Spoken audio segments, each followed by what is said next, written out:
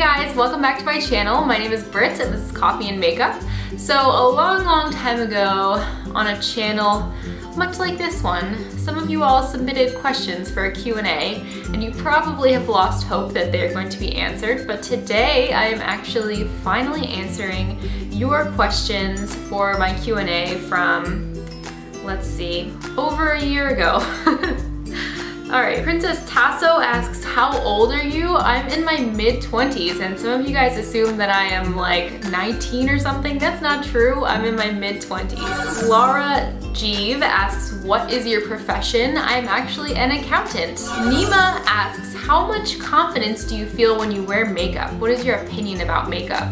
Really good question. So I actually have a little bit of like social anxiety. And before I wore makeup it was like way way worse. And when I was in like the beginning of college I discovered foundation and makeup and I would wear a full face every day because it would help me feel more confident in myself and my social interactions with people. And now it's like I don't know, five years out from that time, five or six. And now I'm getting way more comfortable going without makeup. Like I will exercise without makeup, I'll go to the grocery store without makeup. And I find that I don't really have the same level of anxiety that I used to have about people like looking at me and perceiving me uh, without my makeup. So I feel like it's it's whatever, you know, if that helps you, if makeup helps you feel confident, if it makes you less anxious, then go for it. I mean, why not? Why not use makeup? And of course, if it makes you feel pretty, then that's great too because you should feel pretty. But um, if you don't need it for that, then don't wear it. I feel like it's just like anything else, do what you wanna do. Makeup's no different. Okay, Brian George asks, do you have a boyfriend? How tall are you? And can you do a handstand? I do have a boyfriend. I've had the same boyfriend for five years. Uh, his name's Tom, he's amazing. I am 5'7", and I can do a handstand, but I'm not doing it on here because I feel like there might be some ulterior motives for this question about handstands. So no, I'm not doing it, but I can. Okay, Cornball asks, totally relevant question. If you were a superhero or villain, what would your powers and name be? I have no idea how to answer this. So I think I would be remiss if I did not include my hair in my superhero, supervillain. I'm gonna go supervillain. So if I didn't include my hair, I feel like that would be a mistake. So I'm going to say that my powers would be just thwapping people with my braid because that's actually a real life power that I have. I have used my long ass braid to hit people with. and my name would be, I'm gonna say something that plays off of that power. My name would be Cat of Nine Tails. That would be my supervillain. Julie asks, boyfriend, girlfriend video in the future. Unfortunately not, because Tom has privacy concerns that are definitely respectable and if you guys have noticed, I've never had a friend or boyfriend or anybody on my channel besides for myself. That's because this is my choice to put my face out there and you know, have my face be on the internet forever and whatever I say associated with it. But I never want to put that onto other people, so I don't really vlog with my boyfriend, and he would rather not be on the videos, so I respect that. Two Pape asks, when is your next hair update video? Lots of O's. Very funny. I did go a while without making a hair update, but we're back on that now, so okay, I see you. Jess asks, what do you think is the meaning of life? Or if that's too hard of a question, what is your hair goal length? Thanks, Jess. Meaning of life, I'm gonna say whatever you want it to be, so long as you're not hurting everybody else, just pursue your happiness. Live your truth, you know? And then as far as hair goal length goes, I have talked about it before. I don't really have a goal length in mind because I don't want to disappoint myself if I can't make it there. Like whether I have a terminal length that's shorter or if my hair just gets too scraggly and I just can't like bear to look at it anymore. So I don't have a goal length, but guys, I'm just growing and seeing where it goes. Oh, here's my friend Kat. I haven't seen her in a while, but she asks, if you were to write a book, what would it be about? I think it would definitely be like a nonfiction. I actually have thought about of writing possibly a book about hair because I think that hair as a concept is really fascinating and the fact that different cultures ascribe different meanings to the hair, but there seems to always be a significance in the way people cut their hair, the way they wear it, just across time and culture. So I think it would be really cool to compile that into a book. So I guess if I wrote a book, that's what it would be about, although I really don't enjoy writing that much. What is your favorite dish? uh, waffles. She also asks, how do you keep yourself grounded? And when you are having bad days, how do you cheer yourself up? Uh, keeping myself grounded and having bad days, I try to do my mindfulness meditation, which if you guys aren't familiar, it's just all about clearing your brain, focusing on something around you like the sound of your breathing or other external noises or the feeling of yourself just sitting on your chair or whatever and letting your thoughts go by but not engaging with them. So sometimes a bad day is just our attitude, I guess, about the day or about situations. So I find that it's really helpful to just take some time to watch your thoughts progress and realize that, hey, that's not actually totally reality. You know, this is just a thought and I can just let it go and not engage with it. And sometimes that can turn a bad day around really quickly. Hannah, I hope I'm saying that right, asks, if you could marry any guy, celebrity, model, etc. in the world, who would he be and why?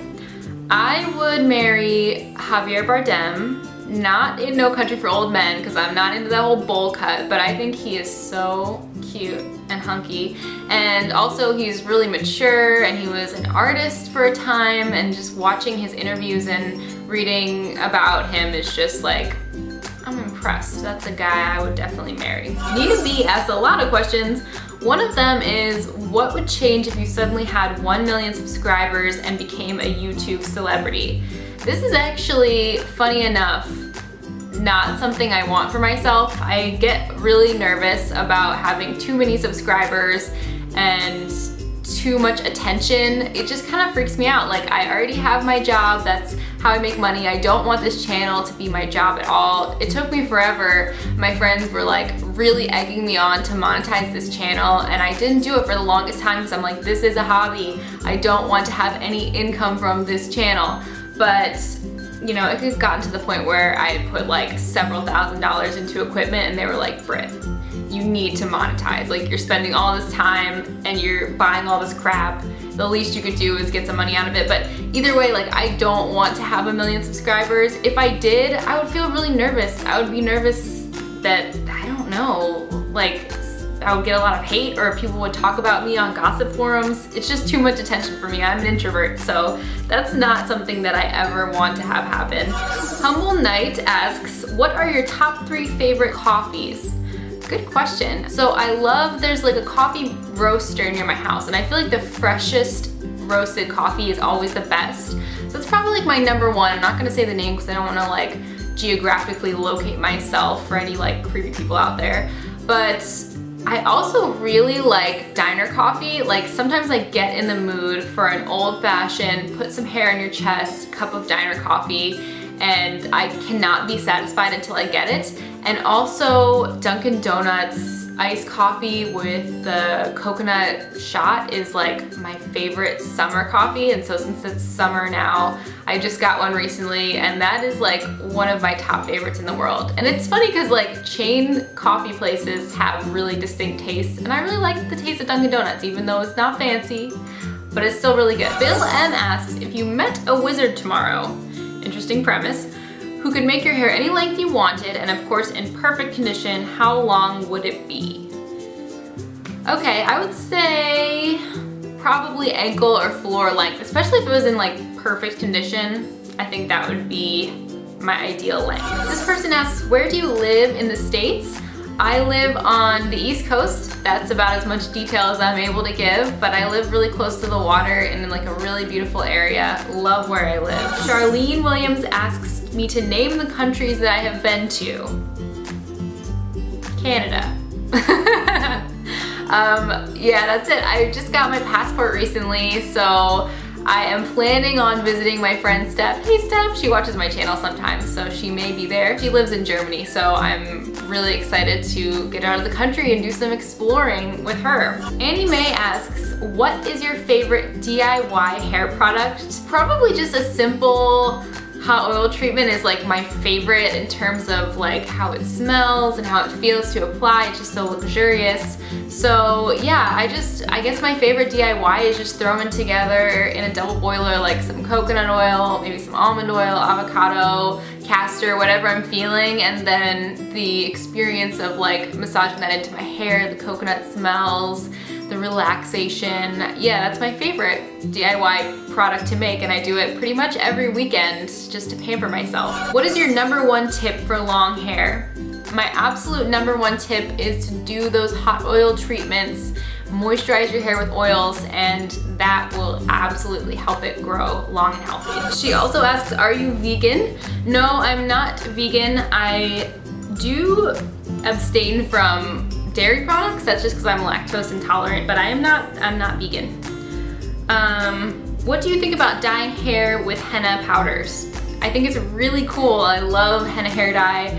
I get nervous about it for myself because I have an olive complexion and I feel like the reddish tones of henna might clash with my skin. So I haven't fully committed to trying henna hair dye, but I think it's great and I think it's really good for people with cool or pink undertones. Jessica Chandler asks, have you ever heard of a coffee rinse for your hair? I know you're into growing your hair and it's not supposed to help with that, but it's supposed to be good for color and shine. Um, I have used coffee before. I actually made a coffee infused oil treatment, but I've never rinsed my hair with coffee. I could, in fact, I could do it right now because I always have a coffee next to me at all times. But no, I've never heard of coffee rinses and I'm gonna do some research on it. Oh, this is my girl Joshi. She says, hello, I'm curious about your studies. what was your major? I studied economics in school and freaking loved economics. I just love the fact that it was kind of like physics in that there were just these laws that govern all of these aspects of economics. And then the more I studied it, the more I realized that that's not really true in reality and there's not really an other things equal type of deal in the real world. But anyway, I studied economics and really enjoyed it. Alessandro, not even gonna try for that last name. Do you consider yourself a conservative girl? Do you want to have kids someday? You are very cute, oh my god. well, do I consider myself a conservative girl? Not really. Um, I don't consider myself like crazy and out there, but I don't know if I would say I'm a conservative girl. Maybe conservative about some things. Um, do you want to have kids someday? No, I don't actually have any desire to have kids. Um, it's not something that's ever come up my channel, but yeah, just never felt that maternal instinct in that respect. Okay, and the last question is from my girl Sam. She asks, oh my god, this is a lot of questions. First, she asks, if you couldn't drink coffee anymore for the rest of your life, Sam, what the heck? Why are you proposing this? What other drink would you choose to replace it? Probably black tea because there's a comparable amount of caffeine. I could just drink it really fast and maybe get my caffeine fix for the day. And I do really love black tea. Like sometimes I will, it's hard to believe, but sometimes I will put down the coffee for a minute and I'll have a black tea. She asks, what is your favorite movie of all time? It's really hard to pick one favorite movie um, because there's so many genres and so many like different things. Uh, one that just popped into my mind that I really liked is called Brick. It has uh, Joseph Gordon-Levitt in it, and it's kind of an older movie, and I don't think it's that well known, but it's this whole like film noir style, but it follows a bunch of teenagers, um, and Joseph Gordon-Levitt's character is like the detective, if you will really liked that movie. Also The Princess Bride, of course, that's a classic that I really enjoyed. Alright guys, so that was every last question that you all asked me for my Q&A. I hope you guys enjoyed it and I will see you all in the next video. Bye guys!